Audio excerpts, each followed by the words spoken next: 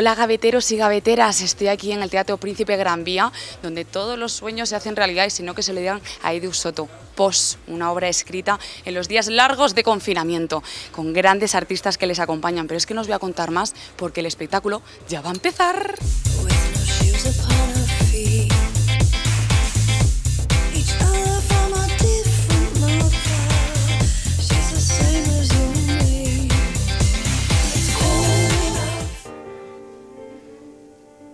Nunca antes habríamos imaginado que el amor entre un hombre y una mujer estaría condenado a vivir sin contacto.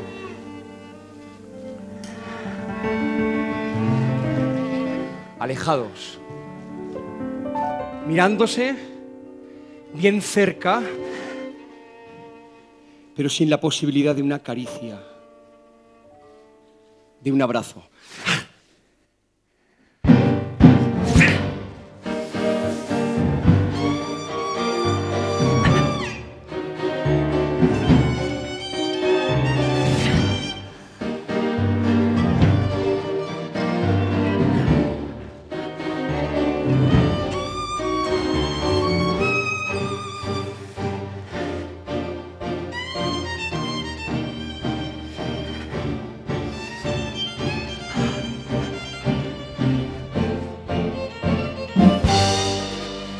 Es, una, es una historia que va en paralelo con lo que ha ido sucediendo. Y lo que ha ido sucediendo nos ha ido alimentando las ideas.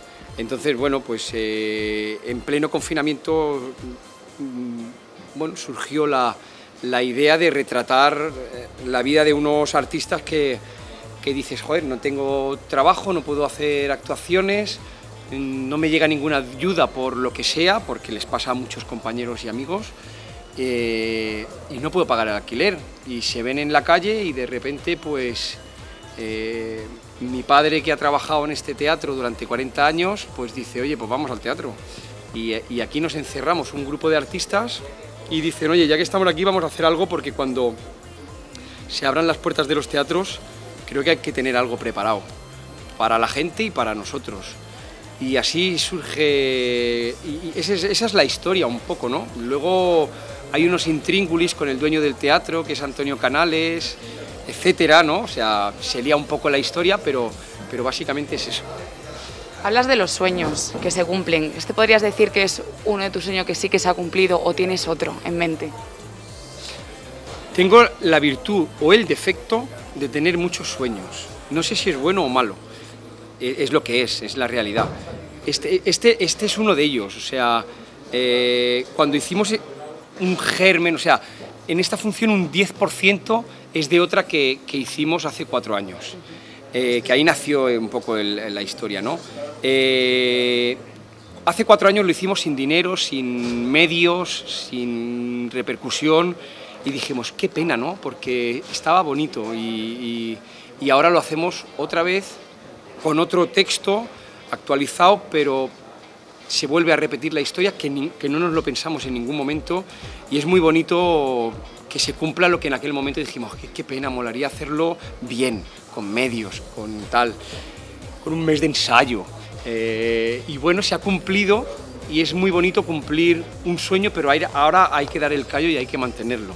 O sea, ahora tenemos que apretar, que todo esté bien, que todo esté bien preparado, que la gente disfrute porque lo hacemos para ellos y, el sueño sería que se cumpliera, eh, que se convirtiera en un éxito. O sea, un éxito es muy relativo, porque para nosotros ya lo es. O sea, estar aquí con mi padre, con mi chica, con mi pequeñito ahí en camerino esperando a que el Papa termine. Eh, hay buen rollo, creemos en lo que hemos hecho, lo hemos disfrutado, eso ya es un éxito. Pero luego queda el segundo, que es que venga gente.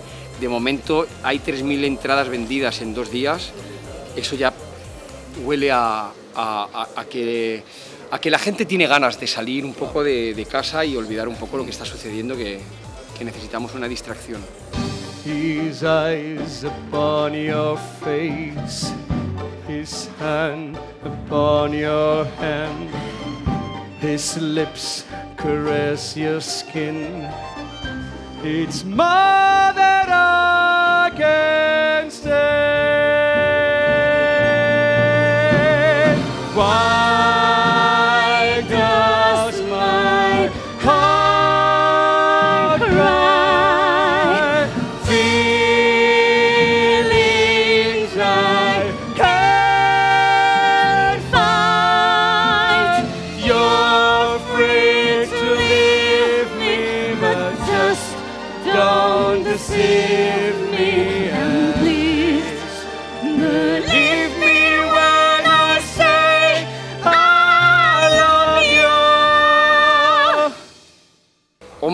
un confinamiento en el teatro es, es- es un, bu- es un buen lugar para que comience una historia.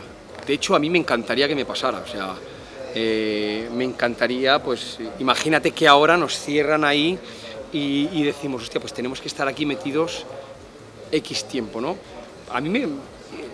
Esas cosas, si el final es un poco feliz, o sea, si de repente no morimos aquí de inanición, pero mientras hayan latas de conserva por ahí y tal, ¿eh? que en la obra hay latas de fabada por ahí, me encantaría que me sucediera algo así porque creo que es bonito. De hecho, este verano tuve un confinamiento en Águilas, obligado, pero estaba con la gente adecuada y, y- y fue muy bonito, quiero decir.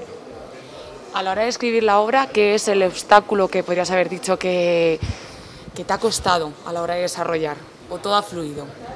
Ha fluido, ha fluido bastante porque eh, casi todos los que estamos aquí en el escenario ya estuvimos en el escenario hace cuatro años. Entonces he escrito muy personalmente a cada uno sabiendo cómo son y qué pueden llegar a dar. Eh, lo que más me ha costado ha sido un momento en que dije, la gente tiene ganas de, seguir hablando de este tema. Em, pues de repente creo que sí, que la gente tiene ganas de reírse de esto ya, porque se habla demasiado en serio sobre esto y el tal y el plasticucho y el tal, te puedo abrazar, no sé qué. Oye, va, eh, de, de repente cuando, cuando seguimos con las medidas de seguridad, pero eh, y te quitas un momento la mascarita cuando el otro, todo, el otro está alejado. Es que hay- hay que justificarlo todo, hay que hablarlo todo.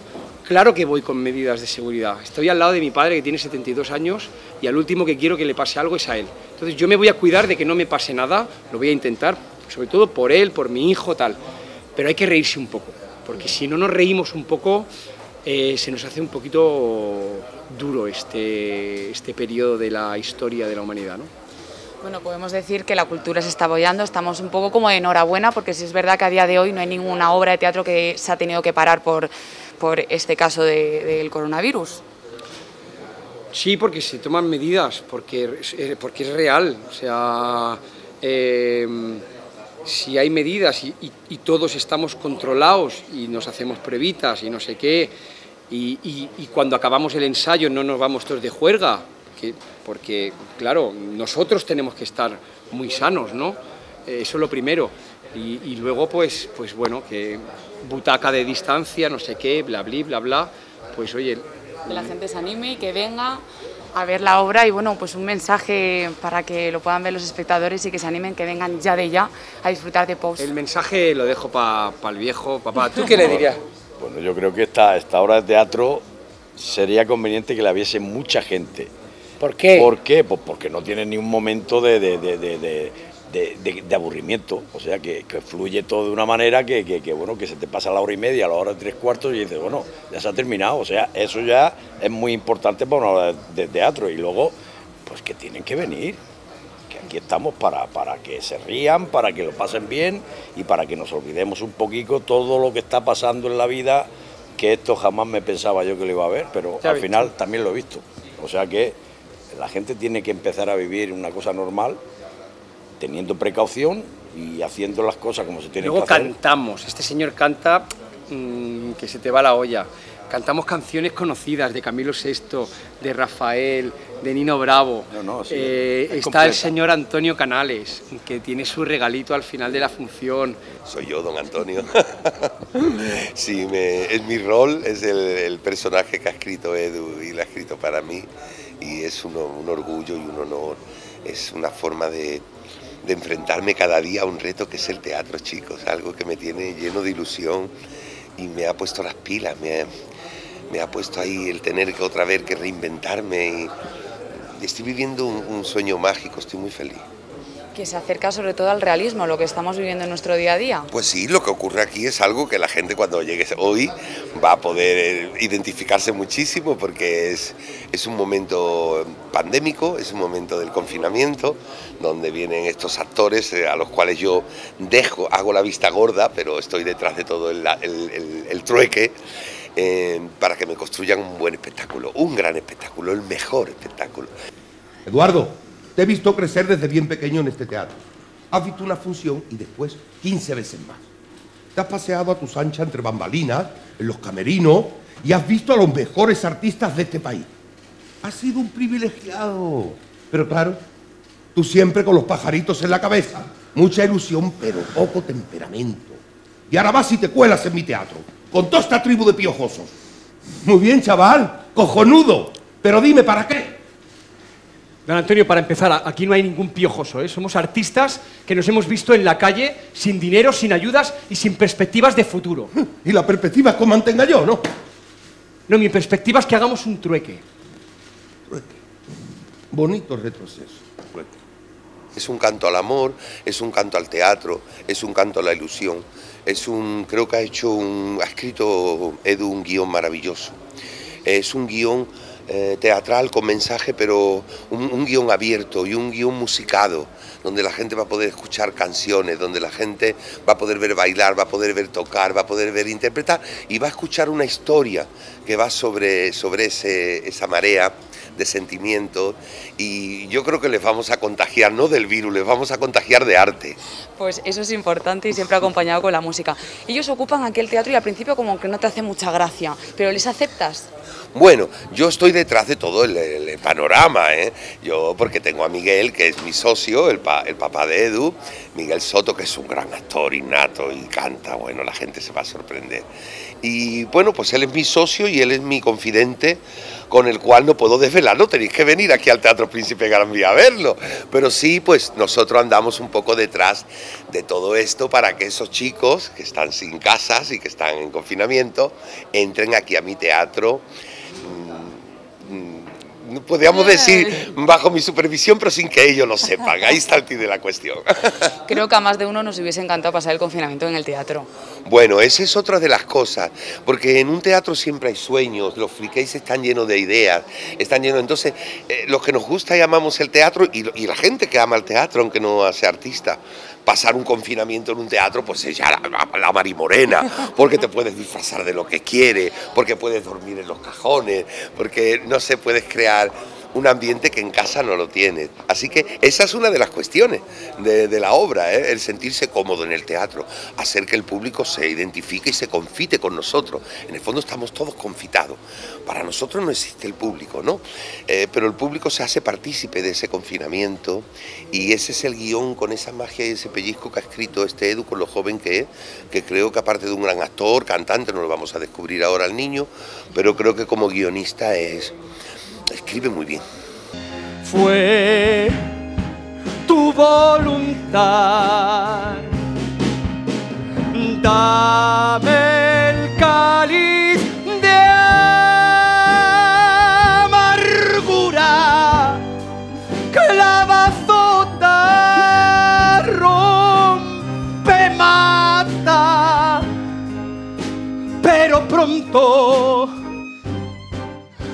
hazlo pronto o yo me voy a arrepentir.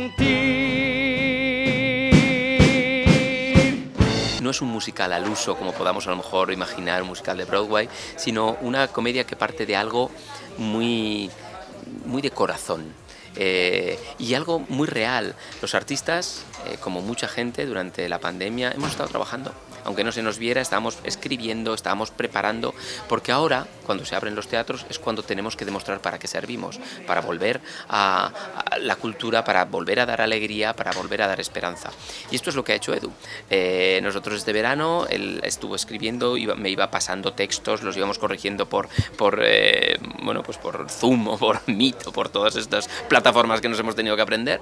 Y, y cuando hemos podido, ha habido unos productores que han apostado por vamos a trabajar ahora, aunque estén cerrados los teatros, para cuando abran, y ahora que van a abrir, pues se van a encontrar un trabajo previo hecho. Esto es como, el- como la hormiga y la cigarra, ¿no? Pues hemos trabajado como hormigas y ahora nos toca cantar como cigarras. Estás ligado al realismo donde creo que el 100% de la gente se va a sentir identificada. Sí, sí. Es verdad que lleno de humor, porque la gente ya, ya tenemos demasiados telediarios, tenemos mucha información, me parece que no es nuestro cometido el dar información, sino al contrario, ver la parte positiva que, que pudiera haber tenido esto o el futuro, ¿no? el, el apre- el apreciar las cosas, ¿no? el apreciar las pequeñas cosas que, que dábamos por hechas y que de repente, anda, pues no las tenemos y son muy importantes, ¿no? Como venir al teatro, por supuesto, pero tomarse un café con los amigos o, o- o sencillamente poder pasear sin mascarilla. Bueno, pues esas cosas son las que queremos mm, volver a recordar, a hacer y decir, después de esto vamos a ir para adelante. Y los artistas hemos estado aquí y seguimos estando aquí. Eso lo sabía yo. A ver si nos van a detener de verdad.